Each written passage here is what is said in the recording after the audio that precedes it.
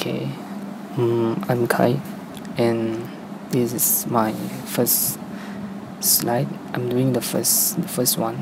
So here we go. So our group presenting Monroe C. Beardsley. He is a philosopher of art. And the next slide.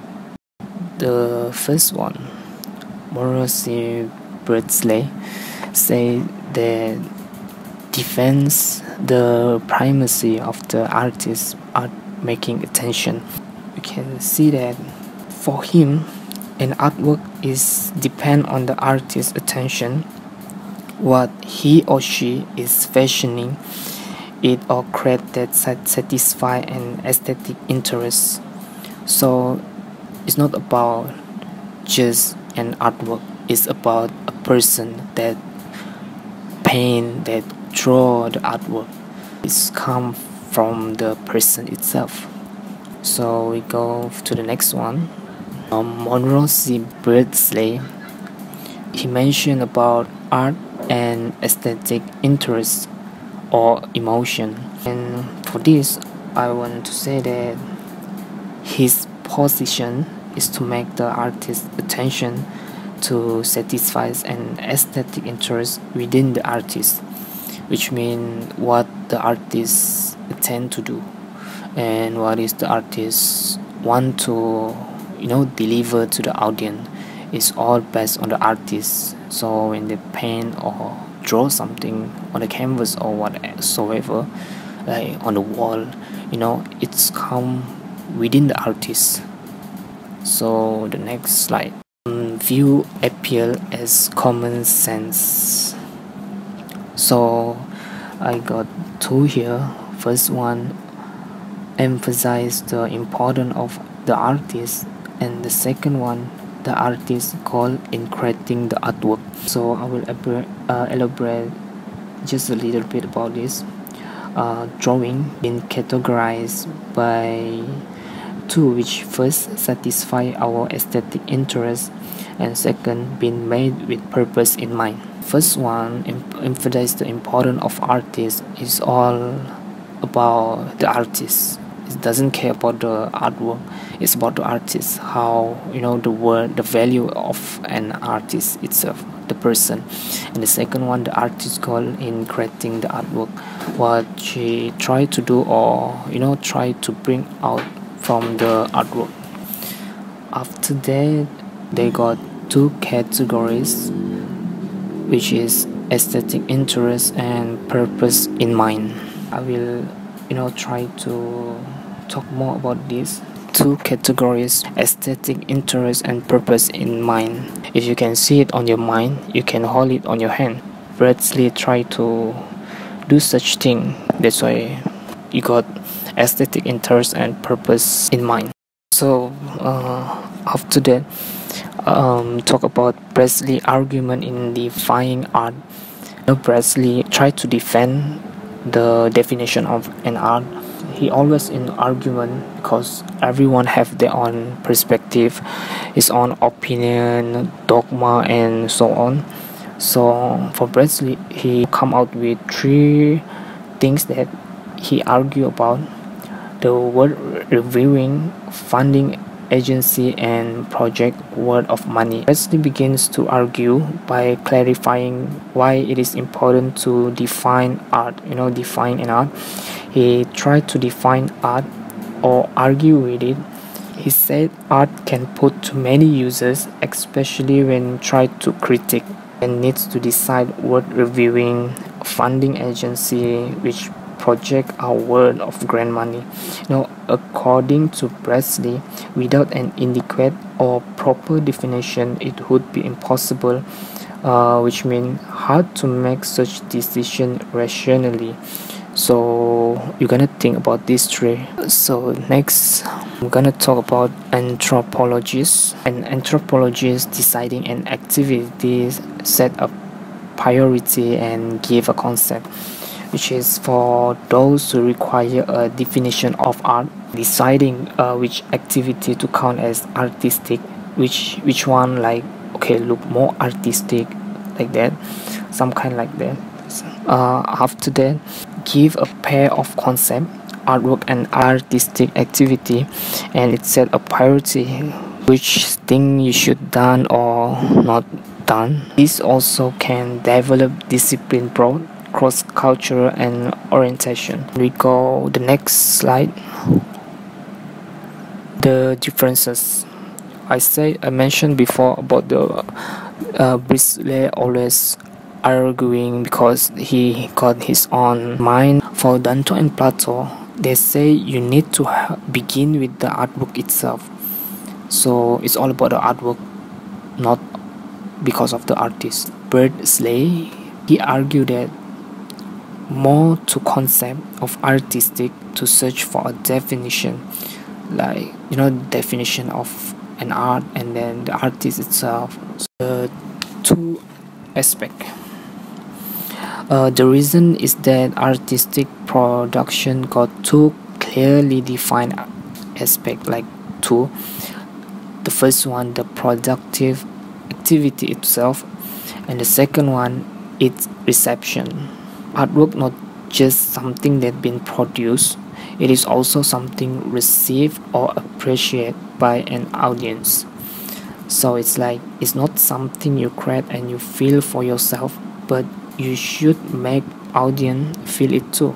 Last but not least you know monroe c. Beardsley say about the basic structure for beardsley definition of art it's come from his name so yeah Beardsley definition of art.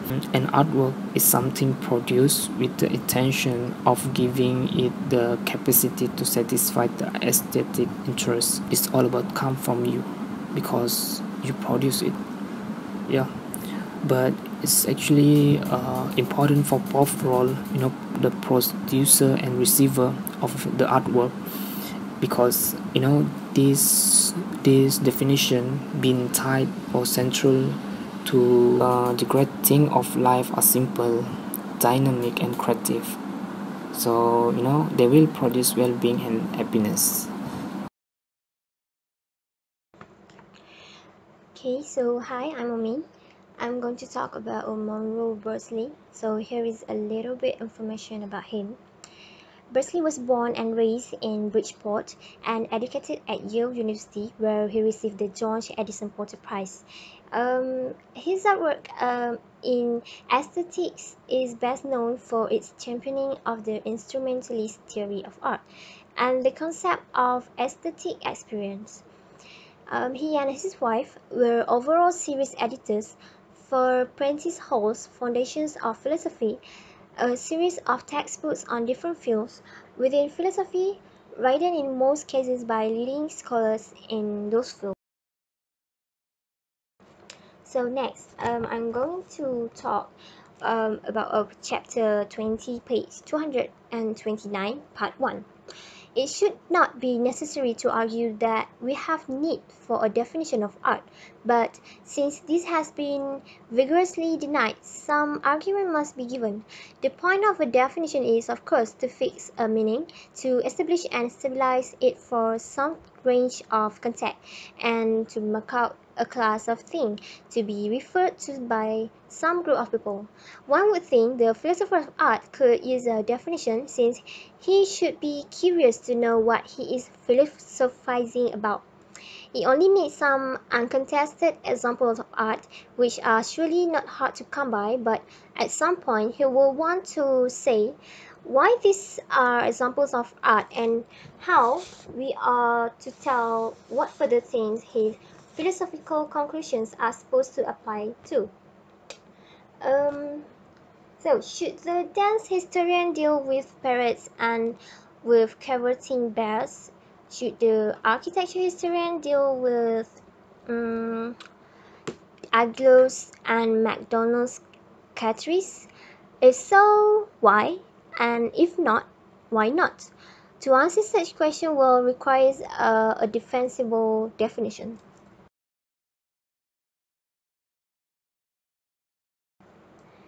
Okay so next is um okay we must especially especially note the needs of the anthropologist and Indeed, as we move on, we should keep in mind this broad cross-cultural perspective. Essential to our understanding of any culture is the gaps of the various forms of activity that is, is manifest and of distinction that are most significant to the members of the society that has that culture.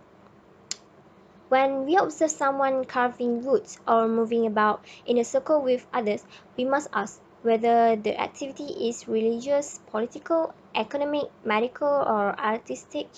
Even when the same act of carving um, or dancing in a ring has more than one character, it is both religious and artistic. Say we don't understand it unless we make this distinction and see that both descriptions apply.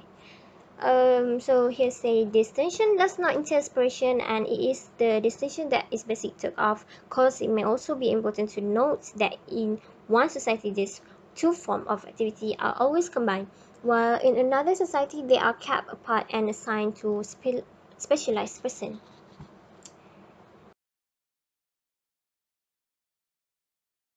Okay, next is um there are two definition questions that spring up when we take this anthropological point of view. We may, as I say, observe activity and want to know which activities are artistic one.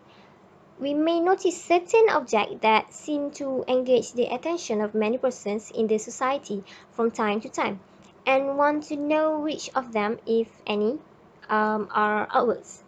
So here are two pair concepts that of artistic activity and that of artwork. And already we are faced with one of the definitional sorry definitional decisions we must make if we have if we have an independent definition of artwork it is easy to define artistic activity as activity that involve dealing with artworks. But it may turn out to be impossible of inconvenience to give a satisfactory definition of artwork without making reference to some form of artistic activity, either on the part of those who create artworks or those who receive them, or both. So um, that's all for me. Thank you. Hi, my name is Ezuang. I would like to present chapter 2. So in this chapter, what I know is art making or art creating is equal to art production. So what is produced? What I know that uh, says that is use our own body as opposed to the mind and feelings to build something with meanings, message or emotions. This we can see it at um, page 231, line 7. So how to differentiate specific of art production and specific of intention. This can be found at line 16. The a definition of artistic activity or production can focus on any of three things. The first one is mode of production. This probably can't help us since the same mode of production that makes a religious object can make an artwork since sometimes they are one and the same thing. Second is intentions that guide the production. Because the same behavior can be informed by multiple intentions, this will help us to deal with objects that betray both religious and artistic intentions. Third is results but this means that intentions must succeed and that will get us into trouble. Instead of saying that few attempts are bad art, we will have to say that they are not art at all.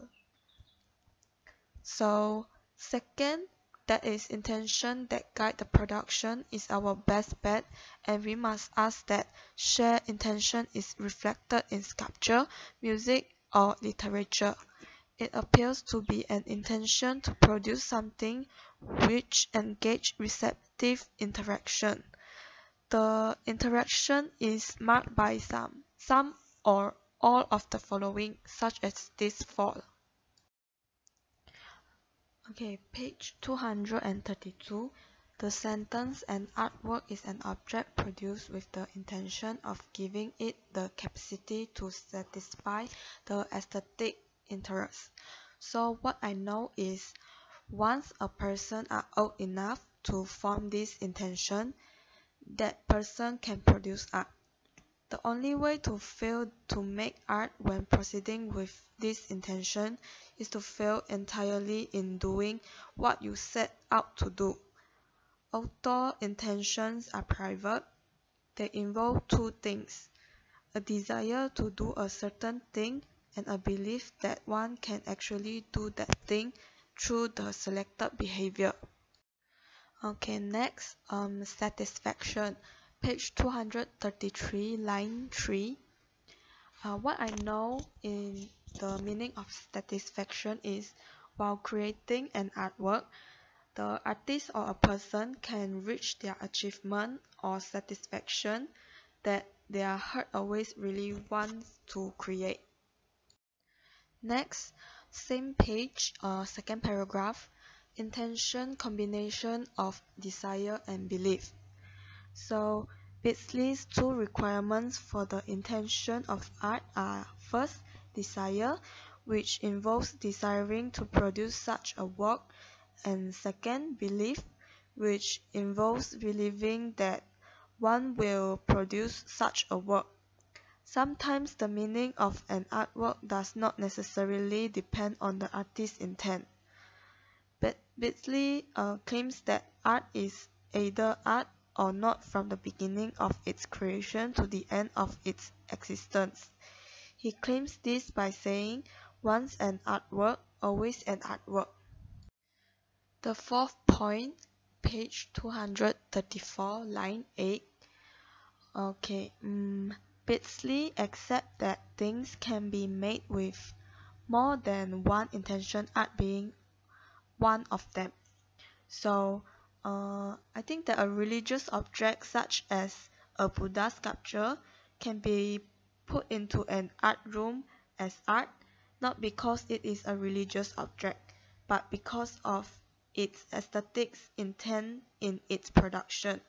So for an, for an example, is Duchamp fountain, which is a urinal, that urinal, yeah, art? Is it an art? The urinal does not have the aesthetic intent because it was made strictly for a particular use but the religious Buddha sculpture does have aesthetic intent as it and other objects. The last point, page 235, the second paragraph, line 2, um, producing art and kidding, eh, kidding art, sorry.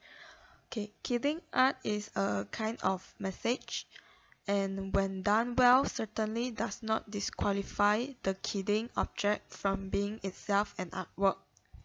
So to classify them as artworks just because they are called art by those who are called artists because they make things they call art is not to classify at all but to think in circles.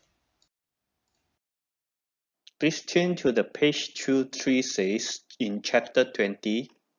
So I will talk about the chap uh, part 3. So in the history of art, we will see some critics and arguments on the new race theory before it gets fully accepted by the people. Admit no exception, Monroe Beardsley's definition on art meets some objection too.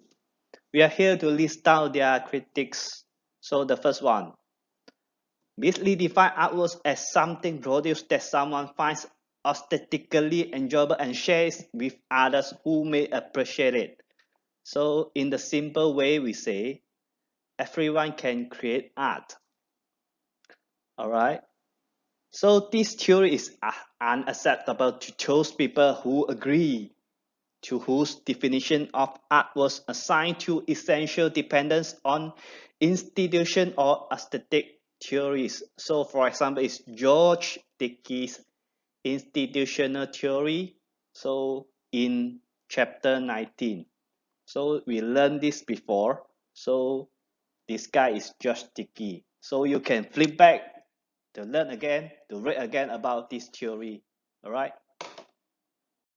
Okay, next. we go to the second argument in the same page. So Beasley has no fixed answer for the vagaries of or counterparts of artworks can be the artwork or not. So he say this is not an artwork when a mechanical reproduction of an artwork, for example, is a picture sold in museum shop. So this is an artwork when a person make a forgery painting and make sure this is good enough as an original painting to fool a connoisseur. Hence, the forger is producing an artwork. So this statement is totally cannot be accepted and widely critiqued by the art historians because they cannot accept the forgeries as a part in the art history. So basically do not admit that forgeries belong to the art history because they do not have any significance in the development of art. But he does admit the forger careful skill in imitation. So we turn to the next page, page 237.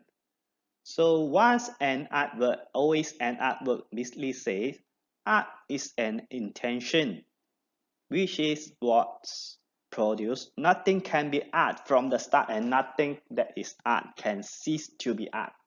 So people argue that argue that his statement is not true because sometimes non-art can be art object too. So for example, the postmodern artists like Marcel, Marcel Duchamp combine bicycle wheels and chair to be an artwork. So I will show this. This is the picture of the artwork. So it's the totally the combination of bicycle wheel and and the chair. So to be from the non-art mean it object to be the art piece. So this art piece is produced in 1913. All right. Number four. If it is the intention that counts in art production, does it follow that one cannot fail to produce an artwork if one intends to? Beasley says the aesthetic intention is not the intention to produce an artwork, but the intention to produce something capable of satisfying the aesthetic interest.